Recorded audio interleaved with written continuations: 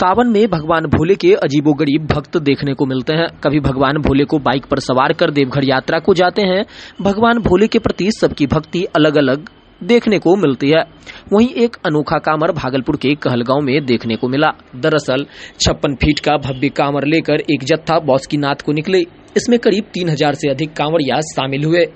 पड़ाव संघ की ऐतिहासिक एक यात्रा शहर के किला दुर्गा स्थान से निकाली गई।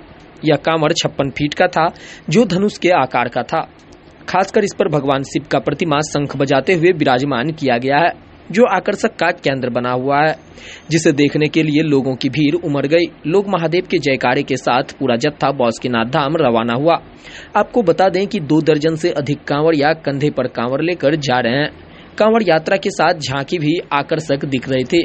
मलमास को लेकर शिव भक्तों में थोड़ी उत्साह कम ज़रूर हुई थी, लेकिन अब धीरे धीरे भगवान भोले के दरबार भक्त पहुँचने लगे हैं। वहीं सुल्तानगंज गंगा घाट की बात करें तो जहाँ पिछले कुछ दिनों से 10 से बारह हज़ार कांवड़िया जल भरकर देवघर को रवाना हो रहे थे, वहीं अब 20 से पच्चीस हज़ार कांवड़िया जल भरकर देवघर जा रहे हैं। 18 अगस्त के बाद अधिक मास समाप्त हो जाएगा, उसके बाद कांवड़ियों का जत्था और भी बढ़ने लगेगा। इसको लेकर जिला प्रशासन ने भी अपनी तैयारियाँ कर ली है। साथ ही कई दिशा निर्देश भी उन्होंने दिए हैं। कई जगहों पर गंगा के जलस्तर में वृद्धि होने से घाट खतरनाक हो गया है।